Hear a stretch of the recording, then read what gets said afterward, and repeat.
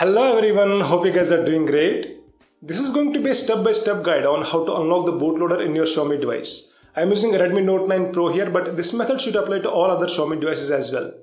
And you also need to download some files in your PC like Platform Tools and Xiaomi Unlock Tool and you will find all the links in the video description. And please note that both this Platform Tools as well as this Xiaomi Unlock Tool are zip files, so you need to extract them anywhere in your PC.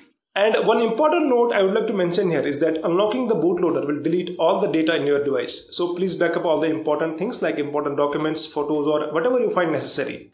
Now let's get the video started and take a look at all the steps one by one. Before starting this process, please note that you should be logged into your Xiaomi account on your device and remember the details like your email ID, phone number and the password. Now let's move to step number one which is to enable developer options in your device and most of you might already know how to do this.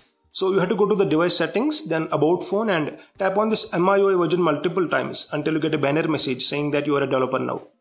And in step 2, you have to go to the additional settings, then open these developer options and enable USB debugging. Then if you scroll upwards, you can see this OEM unlocking. You have to enable this option as well. And please ignore all the pop-ups that uh, Xiaomi will be throwing at you. And in step 3, which is the important step, and under this uh, developer options, you will also see an option known as MI unlock status. Open this one and please remember to turn off your Wi-Fi connection and use mobile data to add your device here. I have already added my device so I won't be doing this again. And once you have added your device here, you can go ahead and connect your device to the PC. After you have connected your device to the PC, now this will be step number 4.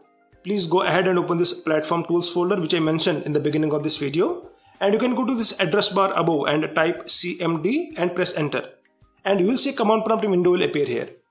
Step 5 is to type the first command in this command prompt window which goes like adb space devices and press enter. And you should be able to see a code here which means that your device is connected to the PC through ADB mode. If it shows anything like unauthorized, please check your phone and allow USB debugging and type the command again and press enter. Now your PC should be able to detect and control your device through ADB. Step 6 would be taking the device to fastboot mode. You can type one more command which goes like adb space reboot space bootloader and press enter. This command will take your device to fastboot mode. And when the device is in the fastboot mode, you need to type one more command which goes like fastboot space devices to check if the device is connected through fastboot mode as well. And once you type this command, you will see the same code which already appeared when the device was connected through ADB mode. And one important thing to note here is that if your device is not detected by your PC, there might be an issue with the USB cable you are using or the USB port in your PC or even the MI drivers. So please get everything ready before you start this process. And I have also provided some important links in the video description. Please take a look at those links as well. Now let's go ahead and move to step number 7. In step number 7, you can open this MI unlock tool folder which I mentioned in the beginning of this video and you can place this unlock tool folder anywhere in your PC but I would recommend placing it in your C drive so that you don't face any issues. And after you have placed MI unlock tool at any preferred location in your PC, you can go ahead and open this MI unlock tool and enter your Xiaomi account details. The same account you have used in your device. As your device should be in the fastboot mode, please click on this password mode instead of the OTP so that you don't run into any unnecessary issues. And if you want to log in through OTP method, please keep your device switched on and after you receive and enter your OTP, you can take your device to fastboot mode and follow the same process. And once you enter the details, you will get some usual MIUI pop-ups here and you can either agree to everything what they say or just listen to yourself. And then you can simply go ahead and unlock your device.